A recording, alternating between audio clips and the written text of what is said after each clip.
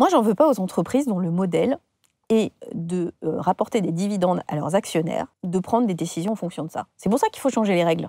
Il ne faut pas attendre que les entreprises deviennent citoyennes et que les grands patrons. euh, Ça marche pas. Enfin, L'exemple récent de Emmanuel Faber à la tête de Danone, même si ça se nuance de plein d'autres sujets, Les entreprises dites de mission. montre bien que c'est compliqué. Donc il faut changer les règles du jeu.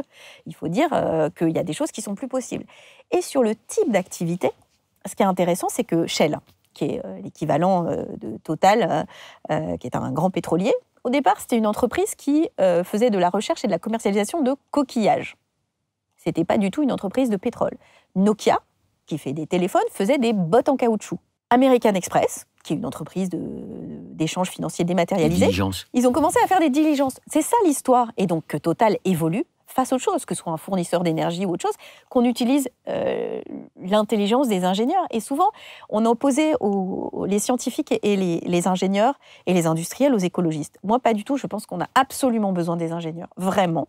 Et surtout pour un challenge. Et j'en ai parlé récemment avec euh, les dirigeants d'Engie euh, qui m'avaient euh, invité, qui sont tous X-Min, très très diplômés, et certains, une personne dans le chat a dit oui, mais Duflo, elle n'est pas ingénieure, elle comprend rien. En gros, j'ai dit mais si, si, il y a un truc que je comprends très très bien.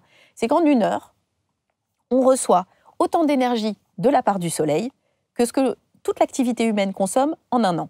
Donc, pardon, mesdames et messieurs les ingénieurs, mais trouver une solution pour capturer cette énergie qui est devant nous pour des milliards et des milliards d'années, qui est absolument renouvelable, ça c'est intelligent.